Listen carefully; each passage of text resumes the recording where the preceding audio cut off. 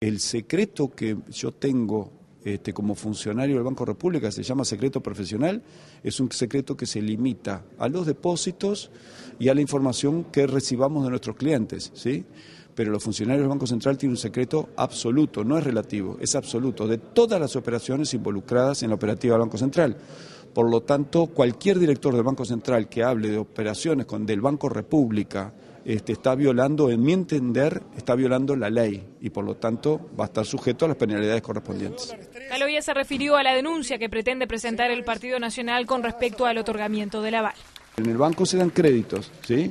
Algunos se pagan, otros no, como en todo banco. Entonces, la evaluación de la gestión del banco se hace en función de la tasa de morosidad, no que no tenga morosidad.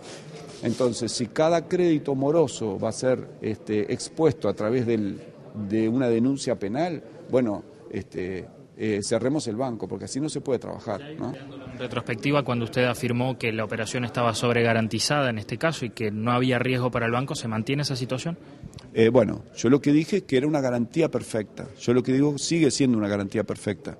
Eh, cualquier operación tiene riesgos y las, los bancos saben administrar esos riesgos, ¿sí? Pero te sigo diciendo de que el aval de una compañía de seguros este, reputada internacionalmente es un aval eh, excelente. Caloya, desde la oposición se advierte que el haber dado una garantía a una empresa aseguradora argentina, bueno, ha sido un error porque tendría que tener filiales en Uruguay. ¿Qué responde? El hecho de dar este, avales no, no, obliga a las empresas a instalarse en Uruguay, sencillamente se conceden los avales, esos avales son perfectamente válidos, no hay ninguna... Está fuera de la ley. Eh, en opinión de la Sala de Abogados del Banco de la República, en ningún sentido.